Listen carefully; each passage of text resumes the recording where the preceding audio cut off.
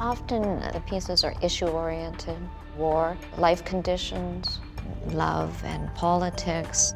Yeah, we sought out young artists. I guess our style lends itself to that because that's the most challenging. Chris Ofili, we just loved his work, the color, the sensibility. We moved slightly away from just emerging artists, but that's our tendency to see if we can spot something or somebody earlier than everybody else. We bought the Carl Funk when he was still in school, and Hugh Scott Douglas. We first bought his work at a uh, gallery in Toronto, and we met him at an art party. Joe Bradley, uh, about 10 years ago, he came to uh, Toronto, and he was young and just starting out. He had that graphic style. We're quite impressed with his evolution. Virtually every show is different than the last show. We're great admirers of his work. Think he's, he's here to stay.